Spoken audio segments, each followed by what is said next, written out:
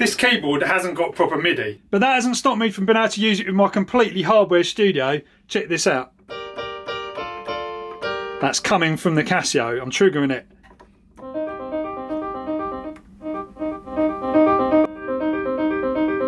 And I'm going to show you how it's done.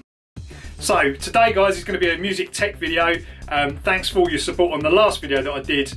You know I want to do more of these videos because it's an another kind of area that I've got lots of information to share with you about and yeah I love making music so that's one of my other things and it's funny to see actually in the comments section all the other people that follow this channel that are into the other stuff that I do like e-bikes and all of that also interested in, in music technology as well so I don't know if it's like an age thing anyway but basically this is my DAWless setup. So this is a setup that doesn't have a computer. I mean, apart from that one, which is just a laptop that runs some virtual instruments if I if I need to.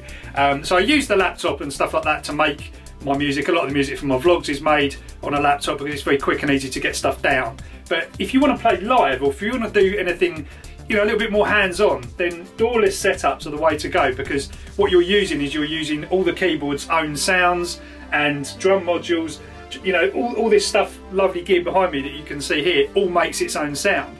And you know, this this keyboard doesn't make its own sound. It needs the computer to do it. So it's just effectively like a controller keyboard. Now that's what this video is going to be about because the latest trend of new keyboards don't have one of the key things that you need to run in DAWless mode and that is MIDI. So MIDI is musical instruments digital interface and that allows you to connect lots of equipment together um, and it's an old fashioned standard but basically it's like little DIN cable leads, 5 pin DIN leads and they interconnect all of the equipment. So what you see here is this keyboard's connected to you know the drum machine and it's connected to the, the keyboard and it's all you know this is not audio this is for triggering actually triggering sounds so it allows all the stuff to talk to each other basically um, and you can basically create music that way so you know if you start a, start a machine here then you're getting some sounds coming from that keyboard some sounds coming from you know the the keyboard behind me and bass line coming from this funky green System 1 keyboard there. It's all linked up. Now, this keyboard here is something that I've acquired quite recently, and this is called the Casio CTX 5000. Fantastic keyboard, amazing. I mean, what I was actually trying to do originally was trying to find a sound module that I could integrate into this system that had like real piano sounds, real string sounds, you know, lots of like kind of standard you know, off the shelf sounds that you can use that were of a decent quality. And what originally what I was going to do is just buy like a sound module, like an old second-hand one off of off of eBay or something like that. But then I came across these keyboards. These are like a arranger keyboard. So this is like something that I had when I was young with speakers. You know, you, you commonly just see this in like your average family house. You know, just sat there, you know, and you can just play stuff at Christmas and, and all that sort of stuff. But this keyboard is insane. It's got such a good array of sounds. It's got something like 800 sounds on board. Um, and it's got this AIX, I don't know if you can see that, the AIX sound source. And that really does give you some fantastic sounds. I mean, these are the, this is just string sounds and, you know, there's piano sounds. I mean, this beat as well. I mean, fantastic little starting beat for something.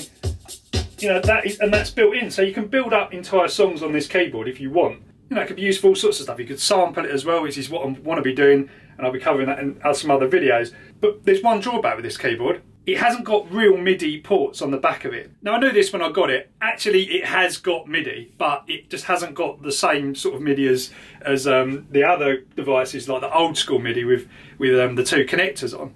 So this has got USB MIDI. So a lot of these keyboards you see now are coming out and they haven't got real MIDI ports. They've just got this USB implementation I don't really know why they do it.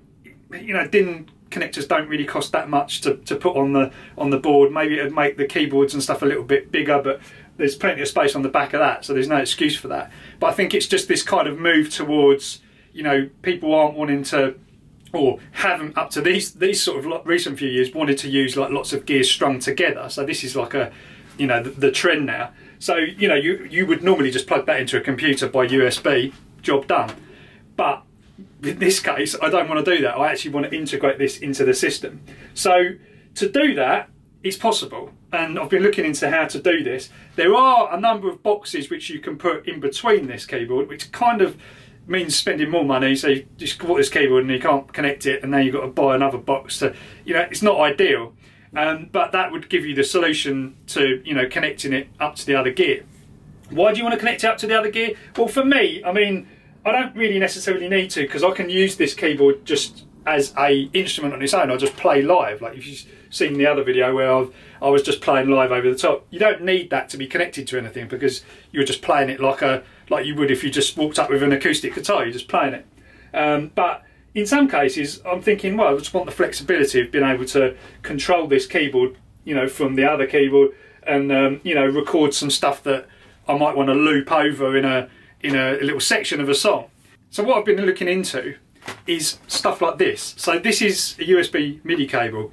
Now this actually won't work connected to that on its own. It needs something in between, i.e. a computer. So you're back to that again, you know, you trying to use a computer to, to solve a problem. But what I've been thinking is could you use something like a Raspberry Pi or Arduino or something like that to just bridge that gap, USB to MIDI, just solve that problem and handle that and it turns out you can. I've been looking online, there's a couple of places which I've found some really useful information which I'll copy below as well.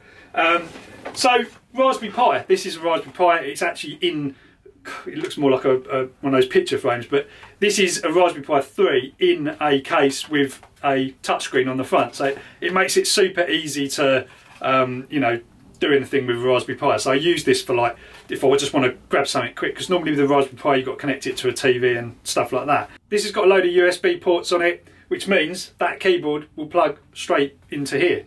So I know this is kind of a computer, but the idea is just to see if this will work, and then maybe we can sort of, you know, scale it down to more of a pure hardware solution. I, don't know.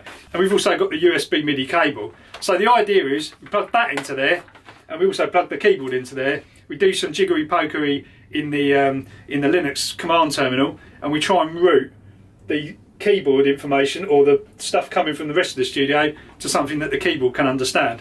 And that is what we're going to do. So first up, we're going to power up the Raspberry Pi. There's my pre-plugged in power supply. So we're going to power up the Raspberry Pi, if I can find this hole in it, and that should just boot up. I'll stick it there if it will stay. And then we're going to take this thing, which is basically two plugs. These are the MIDI in and out. So you have an in and an out with MIDI, and then USB lead that goes in the other end. So that's going to go into the Raspberry Pi. Let's put that over there. And that gives you your in and out so now the Raspberry Pi has got MIDI. The thing with Raspberry Pi is it's all built in. So, you know, if you when you download the Raspberry Pi software, it has MIDI enabled and everything else. So, like some of these other embedded computers don't have that. So that's the good thing about Raspberry Pi. They've sorted everything. Everything works. So you know that, you know, once you stick that SD card in and you boot it up, it'll work. So that's that. Now we need a USB lead to connect this keyboard into there, which I haven't got a spare one. So what I'm going to do is I'm just going to nick the one out of there. This Komplete Kontrol's plugged into. Um, yeah, these things are a bit annoying as well because you don't tend to have many of these knocking around anymore. These, um, what are they called? B? No, no, no. That's a USB A. I think that might be a B. I don't know. Anyway, so this goes into the back of your funky keyboard and plugs into the back of there. And then that's a USB port, USB lead as well which goes into the into the Raspberry Pi. Right so the next thing we've got to do is take our MIDI in and put it in the MIDI out of this keyboard. Now the reason I'm putting it into the MIDI out of this keyboard is because basically MIDI comes out of here goes into that. This has got a through, so it goes out of that keyboard and into this one here, and that will trigger that one. And then this also passes it out as well. So it's like a, a big daisy chain loop. So each one of these bits of kit is actually connected in a loop. So this is connected to that, which is connected to that, which is going to be connected to this keyboard.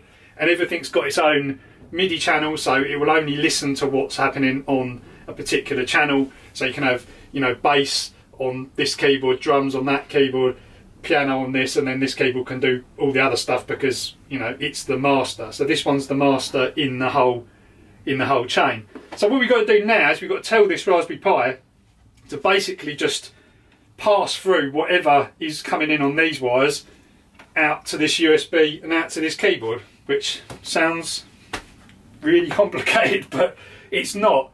So I'm booting up into the command line on the Raspberry Pi, so you know it's very straightforward. It's not like a computer with a mouse. It's just you know right into the command line of the computer as it boots up. So there's a command called aconnect, A connect, and if you do the L um, tag, then basically what it shows you is it shows you all your MIDI devices. So we can see the top one, um, which is timer announce. That's not really relevant. There's a MIDI through, and then here's the important ones. There's USB MIDI, which is our USB MIDI lead, and then there is Casio USB MIDI, is pretty obvious which one that is. So what we need to do is we can tell this to actually connect these two different um, parts. So we can connect the Casio to the USB through. Or actually, the best way to do it, I think, is connect the MIDI through, um, or the USB MIDI to the Casio. So the way you do that is you type in aconnect, and you can actually see these clients are numbered. So USB MIDI is number 20 colon 0. So you just do 20 colon 0, and then you want to connect it to 24, client 24, which is the Casio. 24 colon 0. So we're connecting 20, device 20 colon 0 to device 24 colon 0 and then enter. The magic might have happened. Let's see. So now, if we play something on this keyboard, we should get the message going all the way around to, into this keyboard and you should get a sound. And we need to work out where that sound's coming from. So we'll have a look on the mixer. So my mixer has got the System 1 coming out as well because it's triggering. I haven't sorted the MIDI channels out so you will get this thing. So I've muted the System 1 now and that is this keyboard so it's working.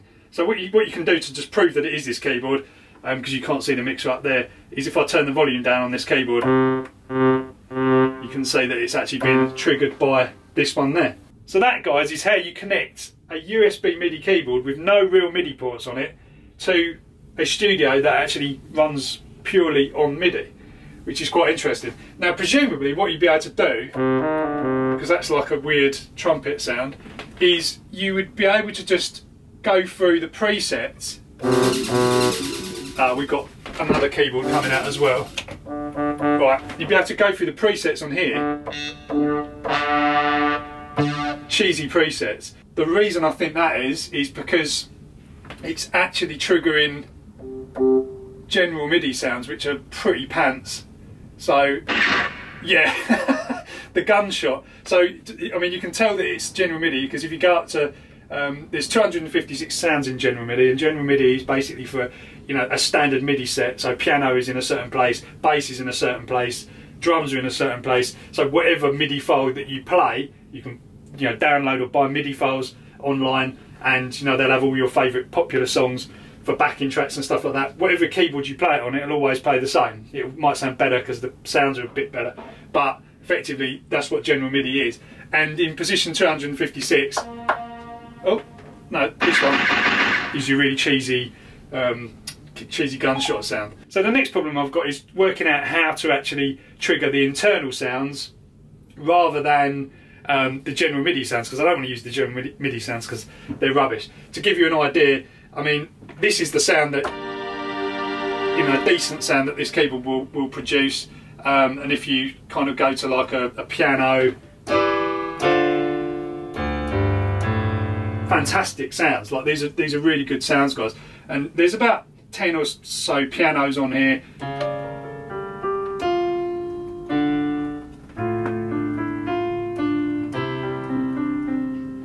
Good sounds. So what I really want to do is access them, and I think the only way I'm going to be able to do that is to send um, a thing called a control change message or bank change message to this keyboard to select that, and I'm going to have to look at um, the keyboard specs and see how you do that. Every keyboard that you buy these days and sound module will have a chart, a MIDI implementation chart. Now, that can look a bit scary and a, a bit confusing, um, but essentially what it is, it just tells you what the cable can do MIDI wise.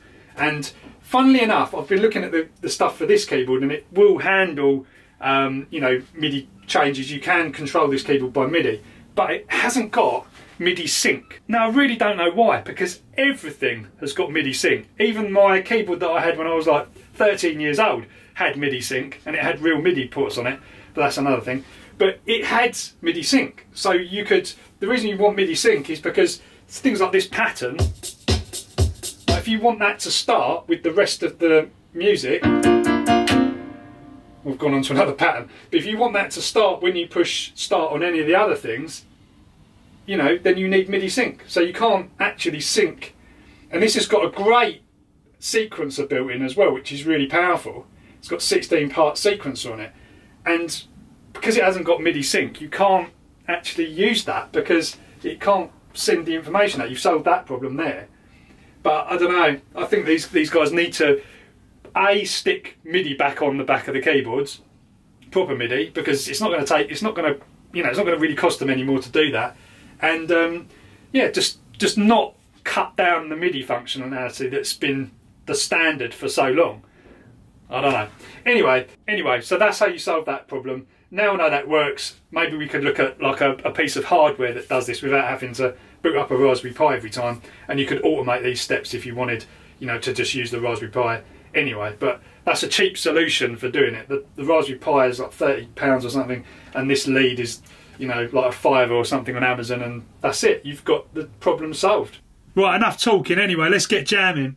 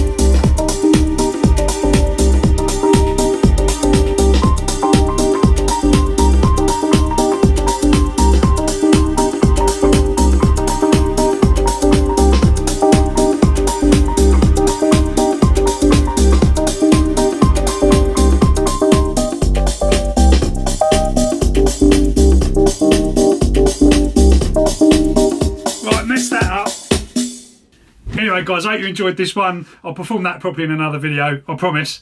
And um, yeah, catch you in the next video.